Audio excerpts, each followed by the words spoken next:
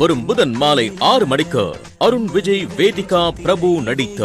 மலை மலை